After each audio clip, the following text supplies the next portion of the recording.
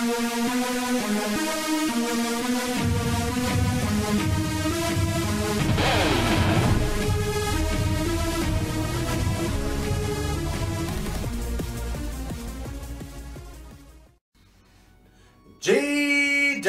people. This is Sharpino here. Welcome to you guys to a team prep video for our first round for the PMC League event.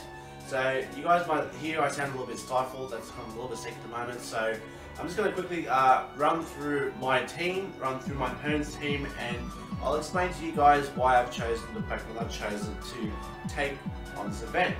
So first and foremost, so we're going to the first round. If you guys are if you guys are enjoying the content, if you guys want to get behind Sydney Krookodiles, and of course part of the Sharp Squad, make sure you like button down below for us because as always your support is greatly appreciated.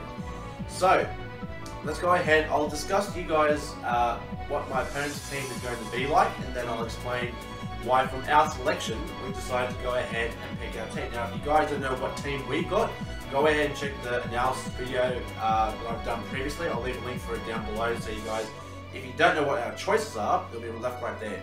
So the team Tampa Bay Frogadiers is uh, led by the coach, The Verd. Um, so let's have a look. So first he's got a Mega Pinsir, which is very, very frightening. Then he has Kyurem Black, which is just as frightening. Then you got Starmie, uh, M-Ball, Heliolisk, Granbull, Weezing, Ferrothorn, Spiritomb, Tyrantrum, and Gligar. So a lot of heavy threats on his team there, obviously being the Mega Pinsir, the Kyurem Black, and the um, I would say the Starmie falls in that category because Starmie could either be a defensive or be an offensive hitter. But um, some other Pokemon alongside that that really worry me is the Ferrothorn and the Weezing. I've got a feeling that Weezing uh, more likely if, if he does bring Weezing, uh, Weezing is definitely going to be a physical wall with Poison Rocky Helmet or Black Sludge and the Will-O-Wisp cripple. And um, and uh, we've got the Ferrothorn obviously being the rock setter and everything else. So uh, what I've noticed is that he doesn't actually have, I mean, the Starmie could also be the Rapid Spinner as well. Or, unless, I don't think uh, Gligar gets access to Defog, I'm not 100% sure, but basically what I've prepped for to come against us. So, the six Pokemon of the selection I've explained to you guys, of those 11 Pokemon, I'm preparing for Mega Pinsir, uh, Kyurem Black, Starmie, um, I would probably say Heliolisk, uh, just because here this can be uh, choice specs, choice scarf, offensive mon, they're definitely threatening. Um, I would say the Weezing, the Ferrothorns, that's one, two, three, four, five, six. So that's a six pack one that we're prepping for. So the Mega Pinsir, Kyurem Black, the Starmie, the uh, the Heliolisk, the uh, I'll say Ferrothorn or Weezing. I know one is going to be there. And then the last choice might be either, the other choice would be Weezing or Ferrothorn, or I reckon Granbull. Granbull with the Intimidate. So that's what the team we're preparing for. Now let's go ahead and have a look at the team here. So I've made it here on Showdown just because on Showdown it's a lot easier to show you guys uh, before the actual Wi-Fi battle uh, exactly what I plan to do. So let's have a look at the team here. So I'll go ahead and click on the Talonflame here so you guys can get a, a analysis so you can see everything. So uh, here we do have uh, we do have Talonflame here. Obviously very good Pokemon, you know, Gale Wings. Um, I've decided to put Sharp Beak on the Talonflame just because I feel that I feel like we do need to hit, hit hard with the Brave Bird because Ferrothorn is probably the only Pokemon I can see where uh, that or the Heliolisk, where I can see that Flare needs to hit hard, but we need to hit the Brave Bird and we need to hit it hard.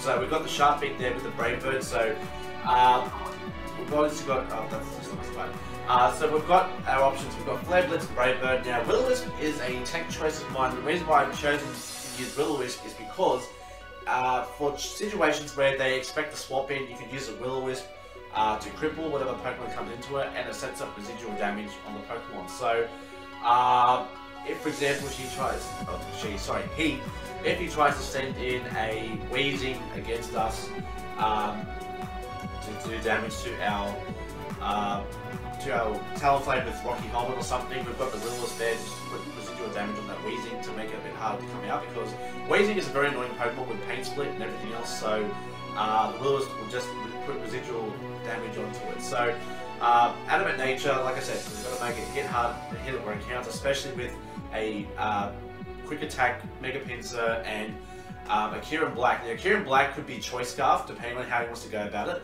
Uh, but I know that um, Kyurem Black has a base 95 speed, so even at maximum speed, we need to make sure that we get that sort of priority, which is where the Brave Bird uh, Talonflame comes to it. Now we go for our next choice here. The next choice here is our Alakazam.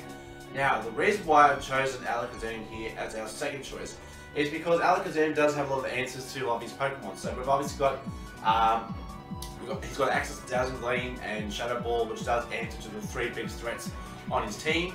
Um, he doesn't get access to knockoffs, so if we're going up against any Pokemon that have any annoying items, or we're going against Kyurem Black, uh, definitely good to have the Focus Sash with Magic Guard, uh, just so we can get rid of whatever items on Kyurem Black, because Kyurem Black is probably the one Pokemon I'm most worried about, just because it hits like a truck. So whatever item that he has, we have the option to use uh, the Alakazam as our possible knockoff user, or Dazzling Gleam to get the uh, cheap shot onto uh, the the Tyrantrum should decide to bring it in.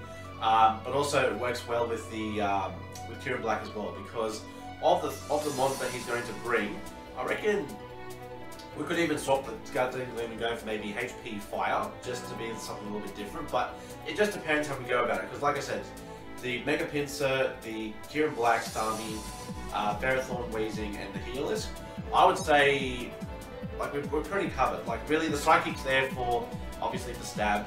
Um, Dazzling Gleam is a little bit weak, but it just gets the extra hit on. And even if we need to go up against uh, Pinsir and just go for a Psychic, just to go full force onto it. So we've got Focus Sash, Magic Guard, so the only damage that's going to happen to... Um, and for some reason I've just realised that right nature's not this. So doesn't, I'll just quickly fix up. It's supposed to be a timid nature right there, so we definitely make sure we are outspeed today. So, And also with that as well, if uh, Pokemon does outspeed Alakazam, we know that it's possibly scarfed.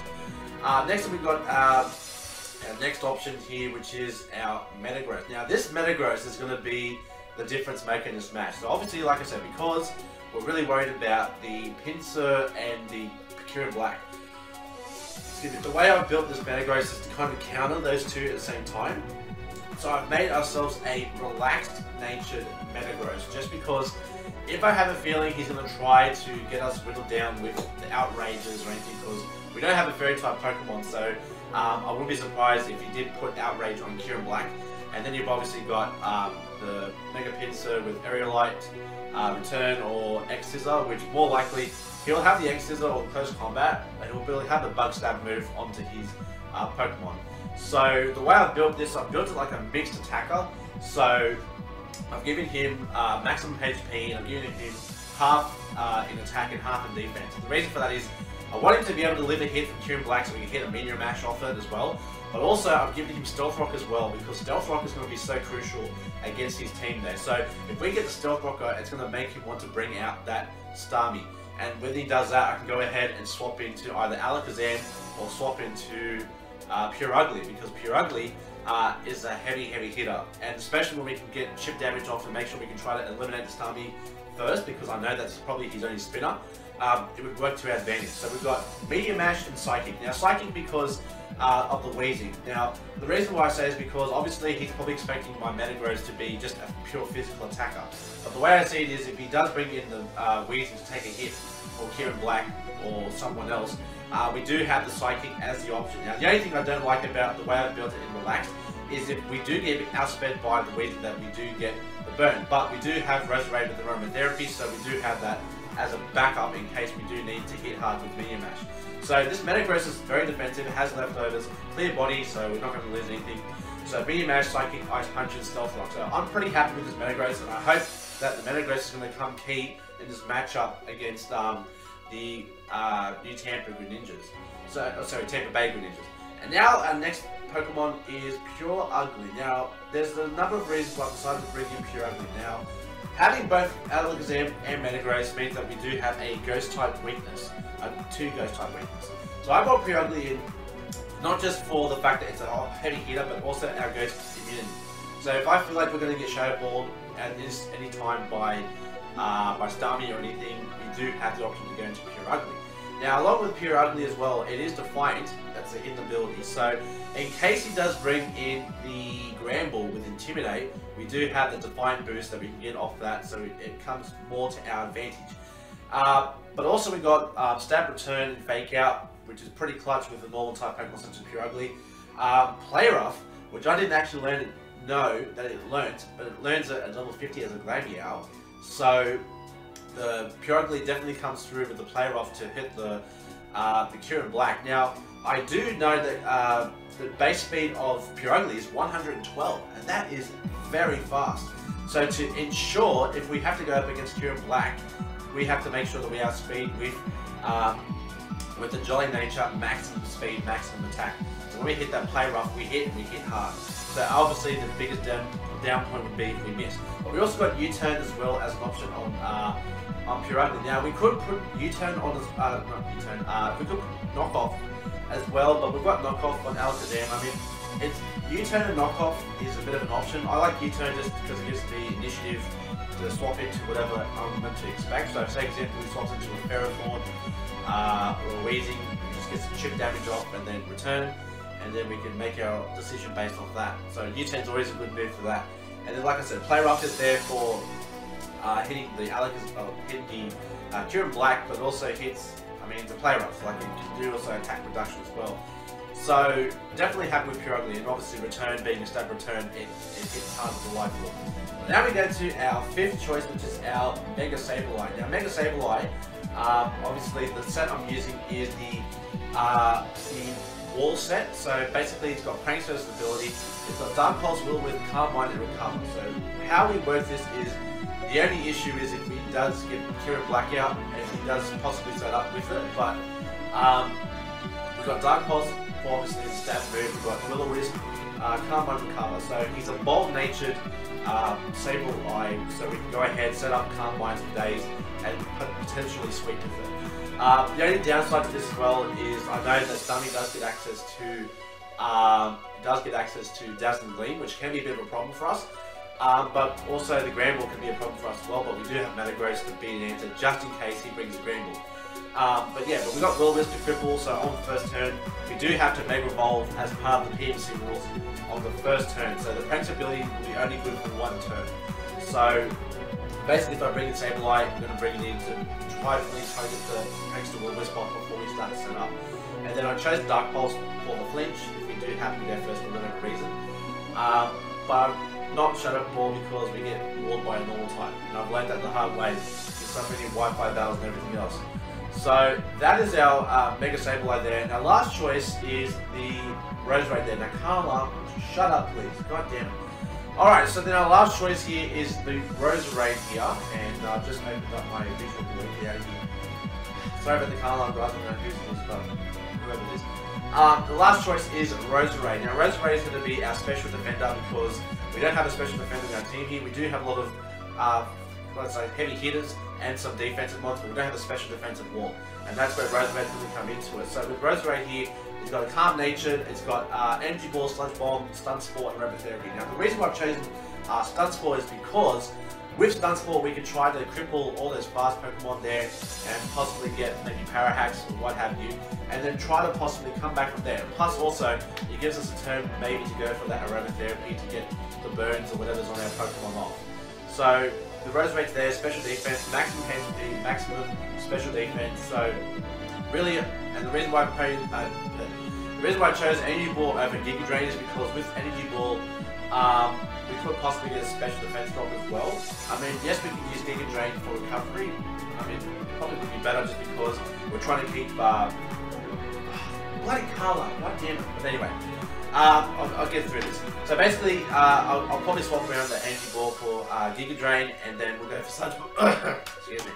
Uh, Sludge Bomb, Stun Spore, and Aromatherapy. So that's going to be our team against the Tampa Bay Frogadiers. Hopefully, we can come out with a first round win for the PMC here. So hopefully, you guys will get behind Sydney Krookodiles. Uh, your coach, Michelle Pino here, uh, will hopefully bring us through with the victory for our first round. So I will say thank you very much for enjoying this episode. If you guys enjoyed this episode, I'll say, sorry, if you guys enjoyed this draft analysis or say team prep video, go ahead and leave a like down below because as always, your support is greatly appreciated. And stay tuned for the battle video to see if we do in fact get our first win. So until the next time I see you guys, uh, stay safe, stay sharp, and I'll catch you guys all next time. Later.